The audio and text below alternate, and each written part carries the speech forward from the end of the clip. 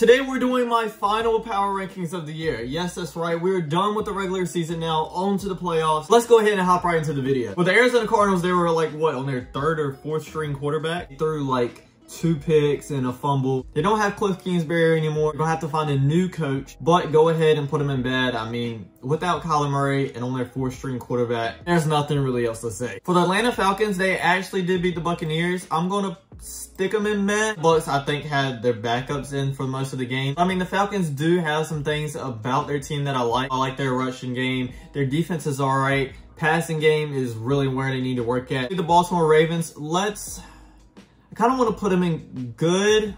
Yeah, let's put him in good, especially without Lamar Jackson. I don't know if he's going to play or not this week. Still reports haven't come out. That's a sticky situation probably definitely going to get traded. The Buffalo Bills, obviously Super contender. The Panthers last game, they beat the Saints 10 to 7, I think it was. Put them in meh. I'll probably put them over the Falcons. Jaycee Horn injury really hurt them. Uh, if he didn't get hurt, I would probably put him in like the bottom of good. Chicago Bears put them in bad. They have the first overall pick now. I don't know what they're going to do since they have Justin Fields. Do they 100% trust in Justin Fields?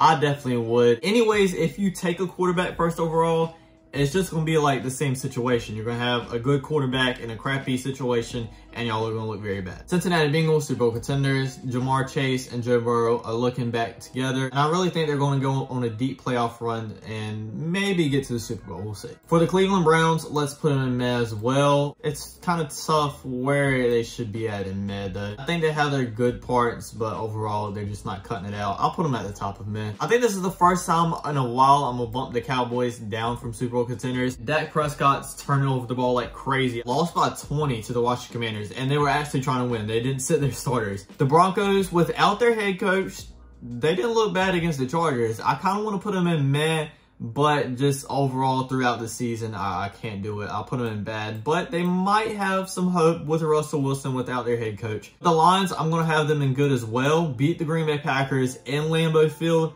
That's really saying something. Could definitely move up to great but I think I'm going to put them in good for right now. Green Bay Packers, I mean, to the top of meh or the bottom of good.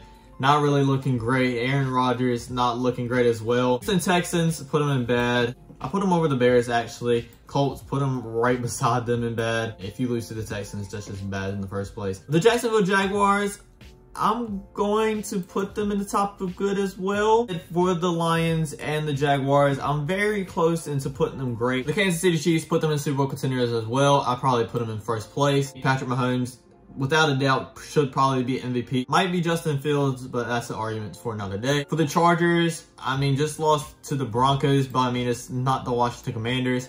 Put them in great as well. I think they might make a Super Bowl push, maybe. Oh yeah, they got blown out by the Chiefs. Put them in bad, but I put them at the top of bad. For the Rams, put them in bad. I'm not gonna lie, Baker Mayfield on the Rams hasn't been looking too terribly bad. I don't know if I would take my shot at starting him next year, but he's not looking terrible. For the Miami Dolphins without Tua, I'm just gonna be straight up honest. I might put them in good, maybe, since they had their bright spots this season. But without Tua, they're probably about to get blown out by the Bills. I'm talking about like Georgia versus TCU blown out. Vikings, uh, I'm really pushing the edge on great here, but I will put them in great. Patriots look actually good against the Bills. Buffalo Bills, two kickoff returns really hurt them in that game. Here-ish.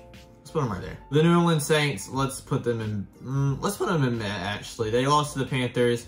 I do think they're better than the Falcons. The New York Giants, put them in good. Uh, I'll probably put them about right here in good. For the New York Jets, let's put them in mm, the top of meh. I don't know if Mike White could have started, but with Joe Flacco, yeah, definitely put him in meh. For the Philadelphia Eagles, put them in Super Bowl contenders, obviously. Don't 100% trust in Justin Fields yet. For the, all these other quarterbacks, we've seen them in big games. We've seen them step up big. Steelers, I'm going to put them in good as well. At the beginning of the season, they were not looking good at all. Probably would have put them in bad. I'll put them about right there in good. For the 49ers, put them in Super Bowl contenders as well. I'll put them behind the Eagles. Don't 100% trust in Brock Purdy yet. I don't really know what I'm going to get out of him. Yes, he's been looking phenomenal, but when it comes time to the playoffs, is he really going to be able to beat these teams like the Bengals, like the Bills, like the Eagles, like the Chiefs? We haven't really seen that out of him yet, so we'll see. For the Seattle Seahawks, let's put them in good. I do think they're better than the Ravens. Uh, better than the Giants. We'll put them right there. Tampa Bay Buccaneers, I don't really think they're all that. People are overrating them since they beat the Panthers and Tom Brady threw what like 400 yards. But like I said, the Panthers are struggling with their backfield in the secondary. So um, I'm not going to overrate them that much. We'll put them right there. Without Ryan Tannehill, not that great, let's be honest. Right here, maybe, maybe under the Patriots. We'll, we'll put them, we'll put them above the Patriots, but I definitely think they could be under the Patriots as well. For the Washington Commanders, I think Sam Howell looked phenomenal. Obviously, it's a win game, so you can't re overreact too much. I'd probably definitely put him in good, uh, probably at the bottom of good though. So there you go. That is my final power rankings for this year. Let me know what you think about them. I think it's a pretty good list. Maybe a couple of them could move up or down two spots, but overall, I like the list. Thanks for watching, everybody. Don't forget to like, comment, subscribe, and I'll check you guys out next time. Peace.